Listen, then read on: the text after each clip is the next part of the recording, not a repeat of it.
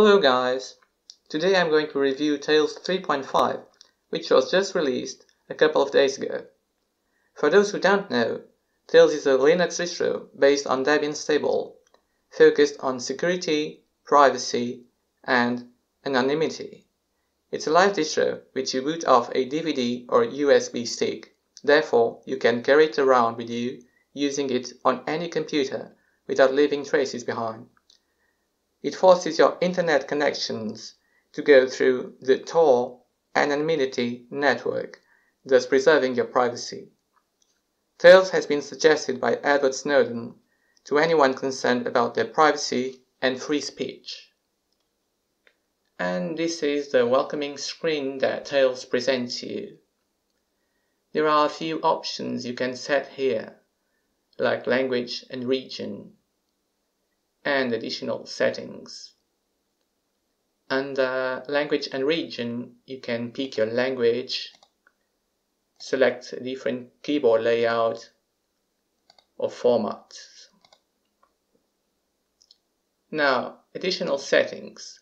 The default settings are safe in most situations.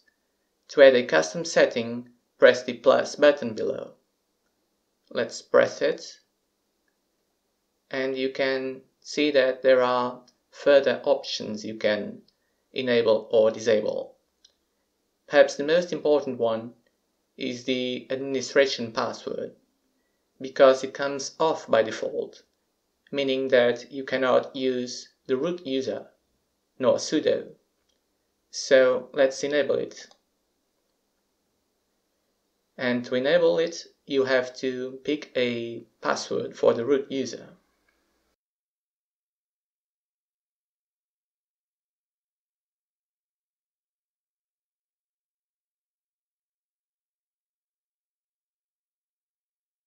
I just picked a very basic password here and let's see if it accepts it. It did. Well, it would have been better if it checked for password complexity, although this is just a minor detail. Let's now start Tails.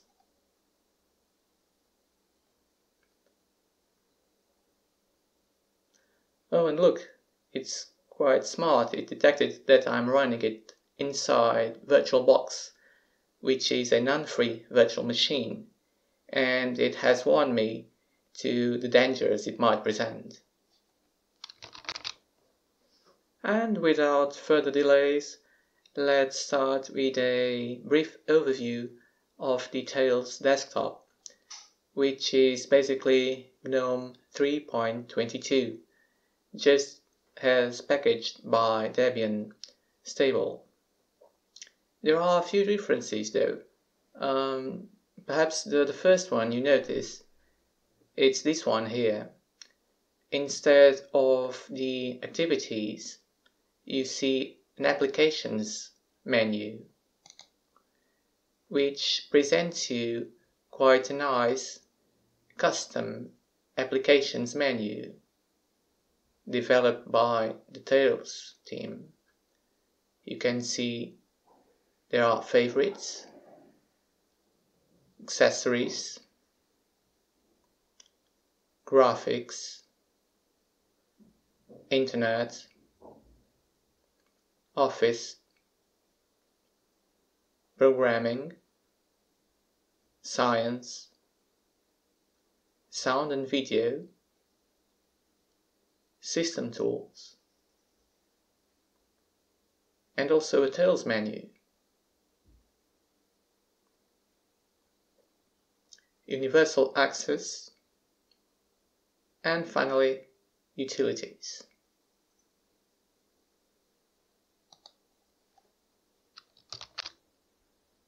Something else that immediately catches your attention is this icon here, which allows you to see an overview of the onion circuits. The onion circuits are the connections that your computer establishes to the outside world through the Tor network. And each of these circuits has three nodes. The entry node, a middle node, and an exit node. You can open each circuit and see the details here on the right pane.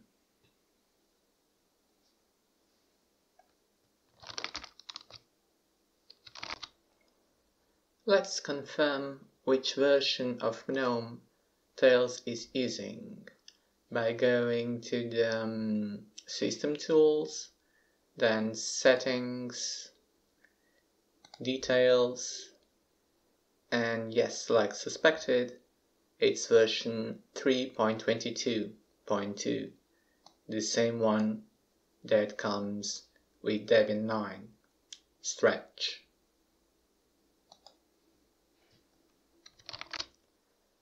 So, like I've already showed you, Tails comes with a pretty comprehensive set of packages installed out of the box, like for instance um, graphics software, um, an Office suite, LibreOffice in this case, and even some sound and video editor software.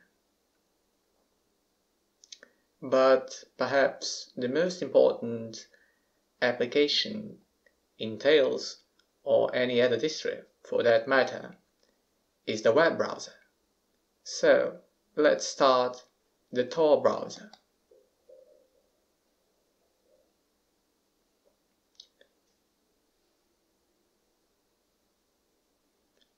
It takes a little bit, but there it is.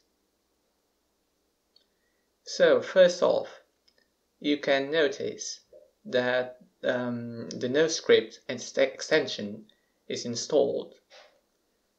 And you can also see that HTTPS everywhere is also installed, as well as uBlock Origin. These are three amazing extensions, so it's quite nice that they come pre-installed. There's also this Tor icon here that assures you that Tor is enabled.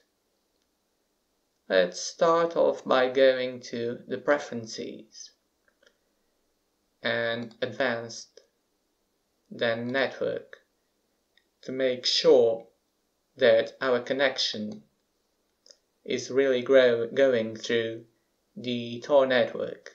As you can see here, the proxy is manually configured using socks on the local host and port 9150. This is where the, the SOCKS server of Tor is running.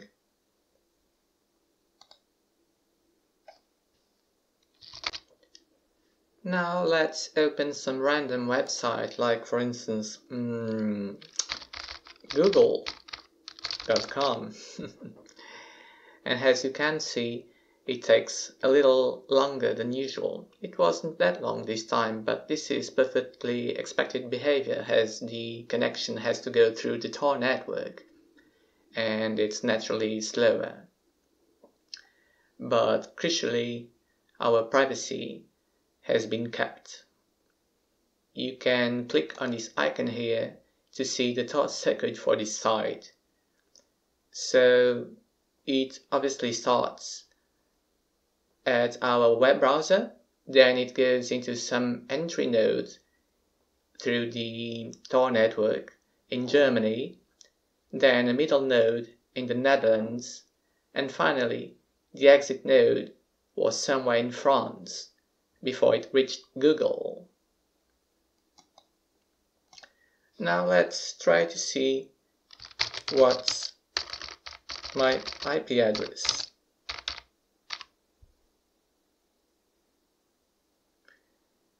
And you can see here that Google is showing you an IP address which I can guarantee you which is not my real address.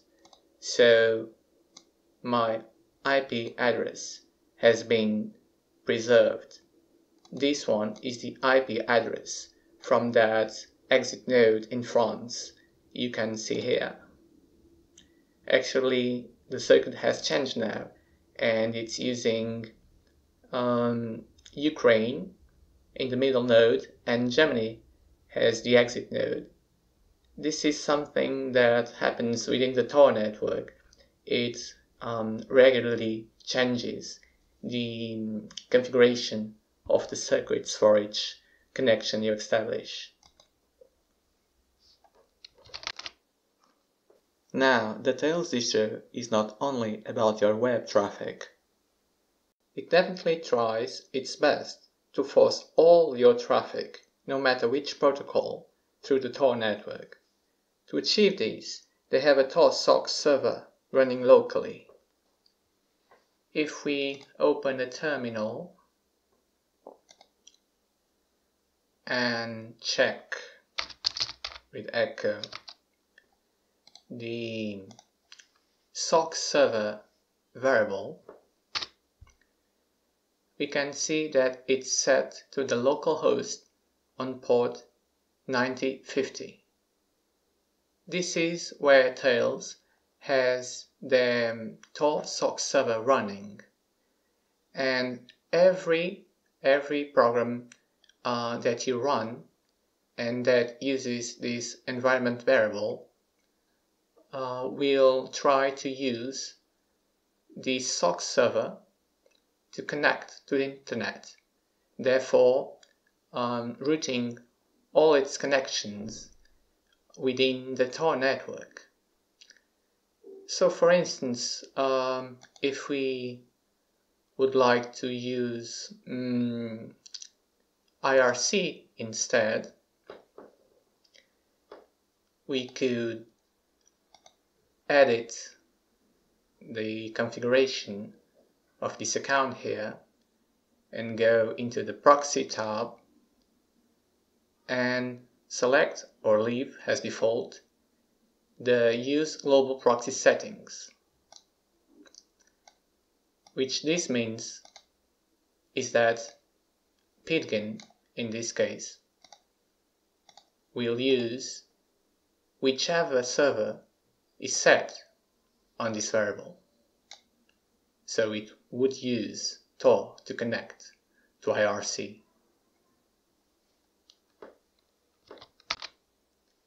And finally, since Tails is a security-focused distro, I couldn't finish this review without running the Spectre Meltdown Checker script from GitHub, which I've been using lately on all my machines to see whether I'm vulnerable or not to Meltdown and Spectre. They say on their release notes uh, since 3.4 that they are running the KPTI fix which addresses the meltdown issue and they also mention some partial Spectre mitigation. Let's run the script.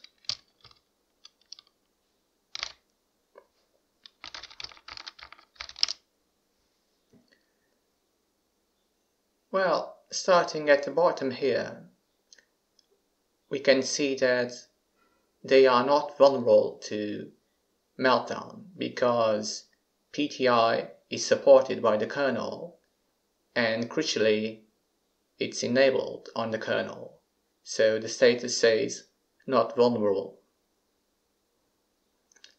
However, if you check the Spectre 1 variant and mm, and the Spectre 2 variant you see that they have no mitigations enabled. For instance, I tried this very same script on my Ubuntu machine and here I can see that the kernel is compiled with support for IBRS slash IBPB support, whereas on this distro it says no. I'm not entirely sure this script is 100% um, trustable, but well, it's, it's been working well on my other distros.